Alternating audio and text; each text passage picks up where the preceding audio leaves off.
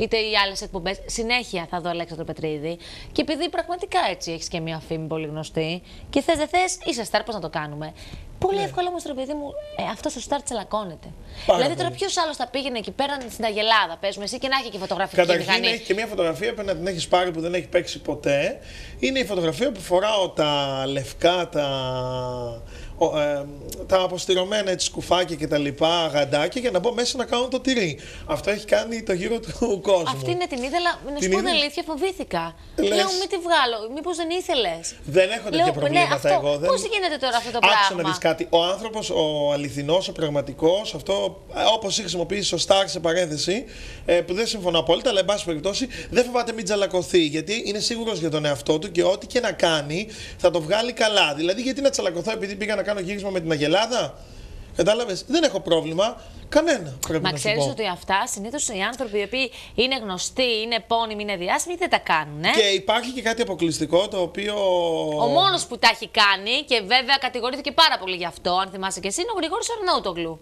Που είχε ξεκινήσει να Κατηγορήθηκε κάνει πα- κάποια πράγματα πιο, θα έλεγα, λαϊκά. Δηλαδή άφησε λίγο την παρουσίαση και τον Ναι, καναπέ και ωραία. άρχισε να τρέχει έξω, να πηγαίνει σε φάρμες, να παίζει, να Έχει τσαλακώνεται, διαφορά. να κάνει Άκουσα να διάφορα σου πω, πράγματα, μπράβο. να κάνει Αλλά όμως κολοτούμπες. Γιατί κατηγορήθηκε, θα σου πω γιατί.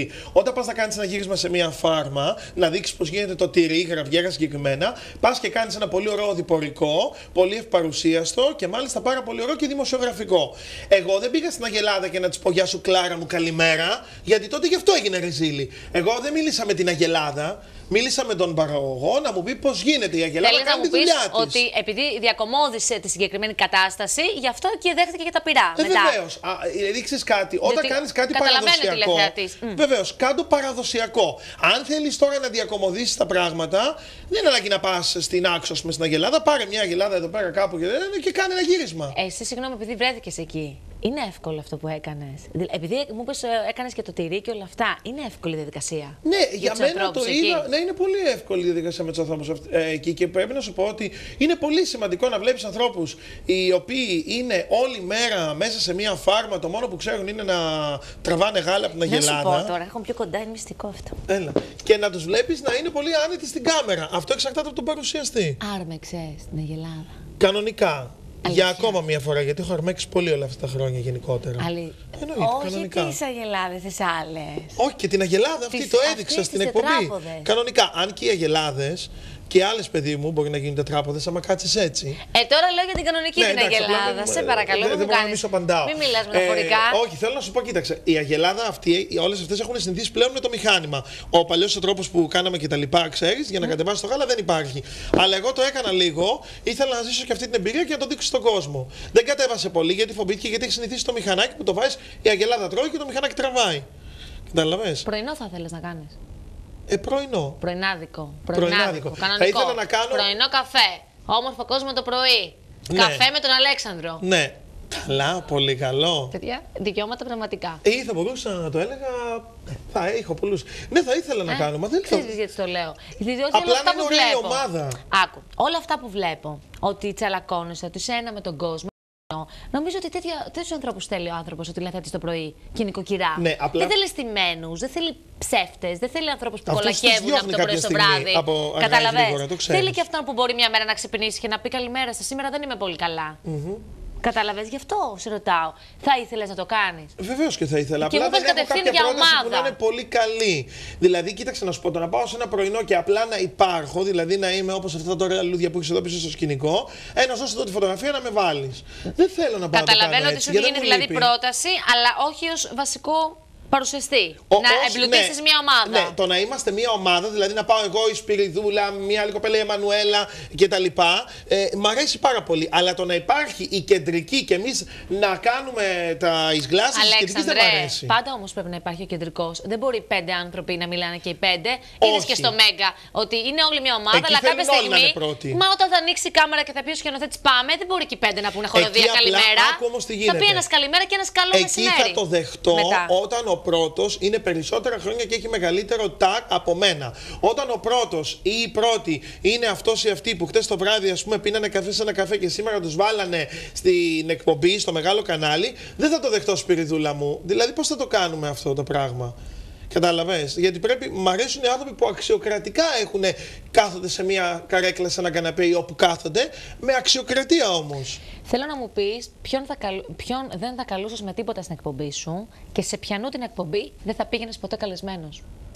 Ε, δεν έχω σκεφτεί σε ποιανού την εκπομπή δεν θα πήγαινα καλεσμένος, διότι ε, όποια εκπομπή ε, θεωρήσω ότι πρέπει να πάω, ακόμα και όσο σκληρός και αν είναι ο παρουσιαστής. Δεν έχει υπάρξει κάποιος που να σε έχει κρίνει πολύ άδικα και να έχεις πει ότι καλά, σοβαρά, άκουσε αυτά τα πράγματα. Ε, λοιπόν, αν με πάρει, δεν θα σηκώσω ποτέ το τηλέφωνο. Εγώ λοιπόν, αν με πάρει ο συγκεκριμένος, θα πάω για να το αποδείξω ζωντανά, όταν δεν θα μπορεί να κάνει μοντάζ, ότι είμαι κομπλεξάριστο και ότι μπορώ να καθοδηγήσω εγώ τη συζήτηση, όσο και αν εκείνος νομίζει ότι είπε ξυπνάδα.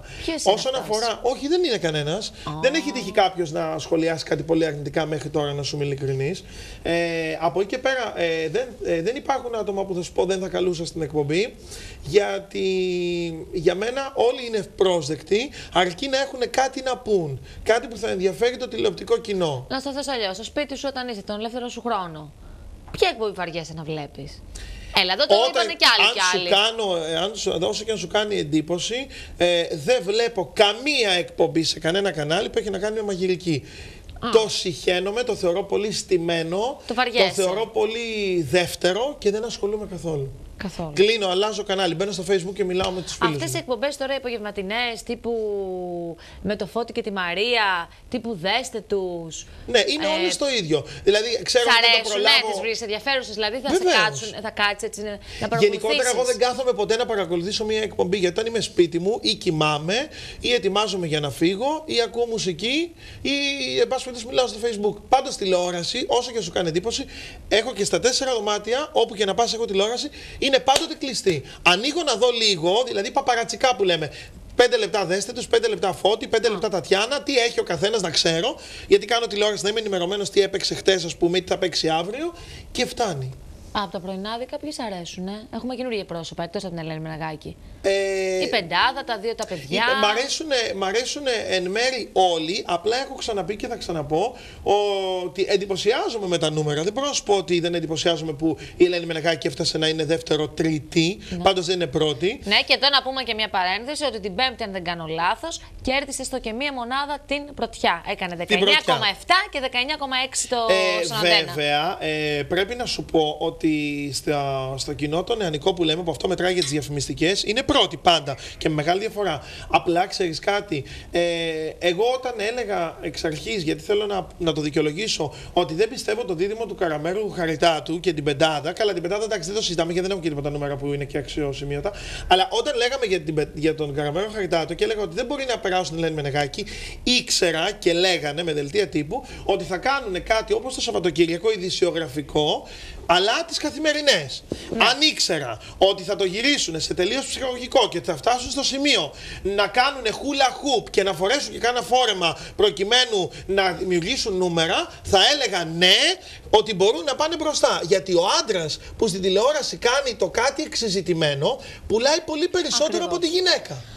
Αλέξανδρε μου, τελειώσαμε. Ε, το κατάλαβες, αυτό έχει σημασία. Τελειώσαμε λοιπόν. Σε ευχαριστούμε πάρα πολύ που ήσουν εδώ. Λοιπόν, και εγώ ευχαριστώ. Δώσε μου Περνάω πολύ καλά. Μία ερώτηση θέλω να κάνω τελευταία. Επιτρέψτε μου. Είσαι ερωτευμένος; Πάντα. Έλα, πες, έχεις κορίτσι. Ε, Είμαι ερωτευμένος. Έχεις κορίτσι. Ε, τι δεν έχω, αγόρι, κορίτσι έχω. Έλα, Χριστός και Παναγία, βεβαίω. Είναι ερωτευμένο το παιδί. Είναι πολύ καλά. Είναι ερωτευμένο, είναι πολύ καλά. Χαιρόμαστε πάρα πολύ γι' αυτό. Σου ευχόμαστε τα καλύτερα και θα τα ξαναπούμε γιατί σε αγαπάμε και θα πάρα σε πολύ. Βεβαίως θα έρθω και σε εσάς. Αφού περνάμε ωραία με Αλέξη το Είναι πάρα, μα πάρα πολύ. Καλό μεσημέρι σε όλους. Αύριο 10 ώρα εδώ.